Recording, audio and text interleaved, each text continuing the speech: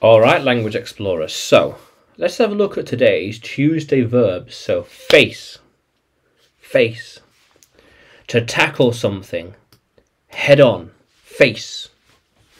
Face it. He, I, I will face my problems. hmm He is facing a decision. Hmm. He is facing a decision. she is facing a deadline. hmm I am facing facing my next big challenge. Face it. hmm She is learning how to face her demons. Yes. He faced them last night. Yes. Uh, they were facing off together. Yeah. hmm They are facing the issues all the time. All the time. hmm I always, always face my issues head on. Yes. Very good.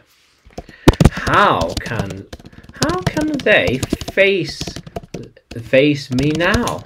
How can they face me now? How can they look at me? They can't. Yeah. Hmm.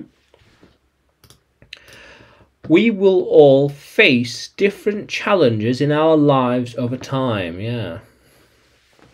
Yeah. The problems you face today will be different. Or anything.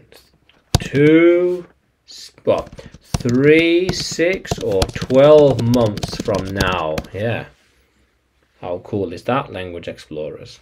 Yes. So, can you use face in a sentence?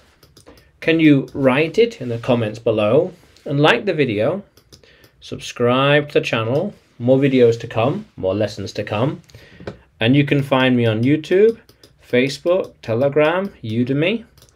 When you search for English with Adrian or Adrian Nantchev, yeah. How cool is that, Language Explorers? Let's keep exploring.